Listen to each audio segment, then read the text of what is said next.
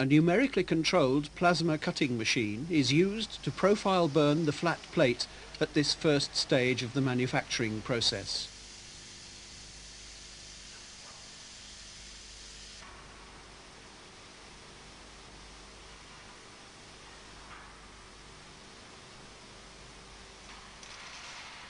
The flat plate is then rolled to the required diameter under hydraulic pressure.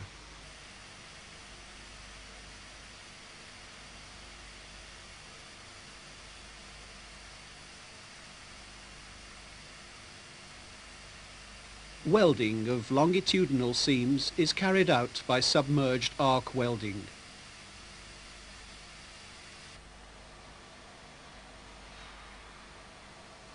Manufacturing procedures and quality control standards are continuously monitored by the Cochrane Inspection Department and by an independent inspectorate. X-ray technology is used to inspect critical welds. Here the tube plates are machined by a computer-controlled vertical milling machine for precise tube hole alignment.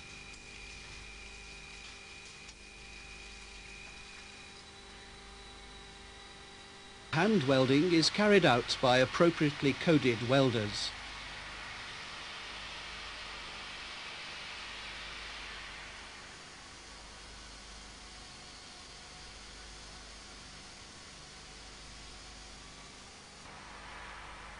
All welds subject to pressure are inspected by non-destructive testing by Cochrane inspection personnel.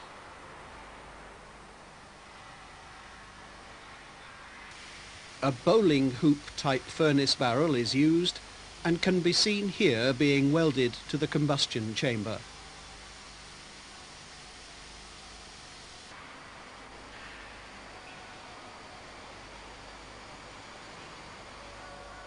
The furnace, combustion chamber and front tube plate are fitted to the boiler shell.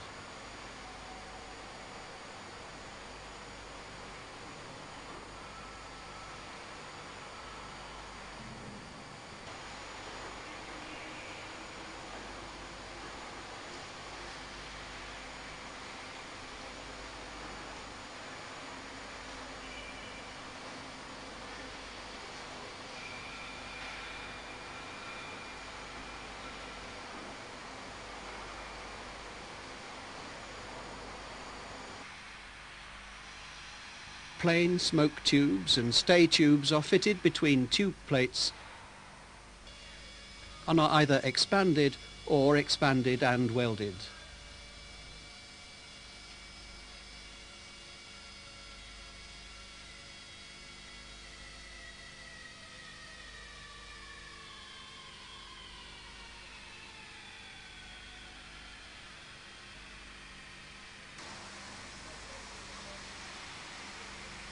On completion of tubing, the boiler shell is subjected to a hydraulic test and inspection by the independent inspectorate.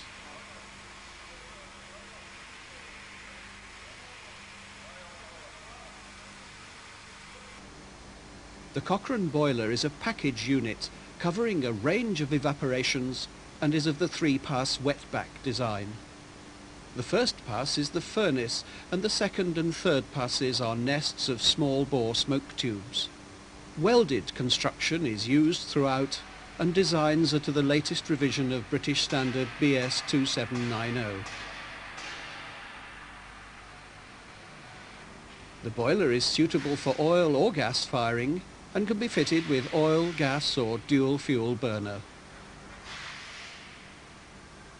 Smoke box doors are fitted to the front and back to facilitate inspection and cleaning. A door is also fitted at the back to allow access to the reversal chamber and furnace.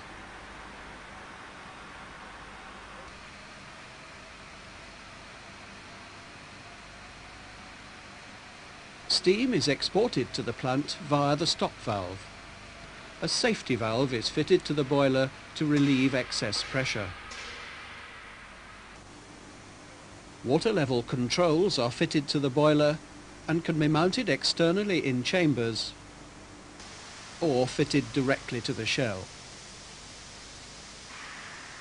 Water is supplied by a feedwater pump and can be of the continuously running or on-off type, dependent on boiler evaporation. A TDS control system can be fitted to control the level of solids. A blowdown valve is used to empty the boiler and remove the build-up of unwanted solids from the bottom.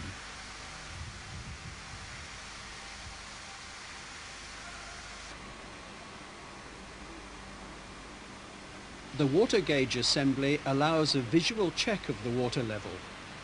The pressure gauge indicates the actual pressure in the boiler. All external electrical components are pre-wired to a side-mounted control panel. Cochrane, the boiler makers. Providing a quality product since 1898,